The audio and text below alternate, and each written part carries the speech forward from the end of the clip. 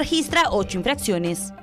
El testimonio de los pasajeros también abre nuevas hipótesis que formarán parte de este caso. Después de estar sentado un rato todavía, recién abolido. Ser provocado. En tanto, las investigaciones continúan para determinar qué ocurrió esa fatídica noche.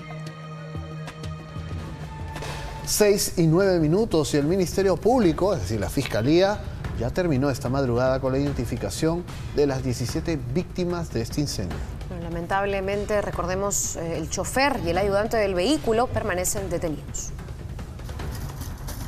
Tras un trabajo forense arduo y minucioso, casi a la medianoche, se logró la plena identificación de todas las víctimas de la tragedia ocurrida el último domingo en San Martín de Porres. Entre ellas hay cuatro menores de edad.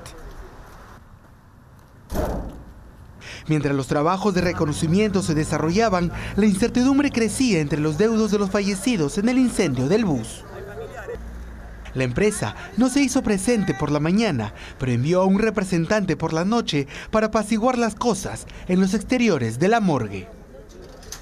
Ahora la empresa está corriendo con los gastos de, de, de traslado. Viendo recién está coordinando con la familia. No, ya, ¿Qué van a ya, ya- ya- ya está coordinado, ya está coordinado con la, con la funeraria, gastos de sepelio, eh, el cajón, el traslado.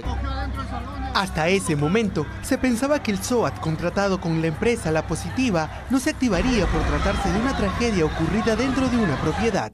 Sin embargo, horas más tarde, la empresa aseguradora anunció, mediante un comunicado, la decisión de brindar atención a las familias de las víctimas.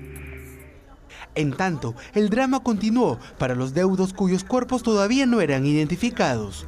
Muchas personas esperaron todo el día, pero tuvieron que regresar a casa. ¿De qué hora está esperando usted? Desde toda la, de- toda la noche, desde ayer, desde las 12 de la noche. ¿Qué le decían sobre Que esperen, porque por más que ha estado con el bebito, ella abrazada con el bebé, dice que acá tienen una ley de que no pueden este, decirme, ella ¿Entiende? Entonces esperamos a la, a la, como dice, a la voluntad de acá de lo de la morgue para que puedan este, este, identificar a la persona.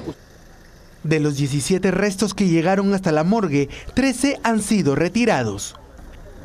Los féretros de Ausberto Luna Espinosa y José Guillermo Cubas Huertas serán trasladados hasta Lambayeque por representantes de la empresa Inversiones Sayi, mientras que los integrantes de la familia Olivo fueron trasladados hasta el Fondo de Apoyo Funerario de la Policía Nacional, a ser preparados para llevarlos hasta Chiclayo.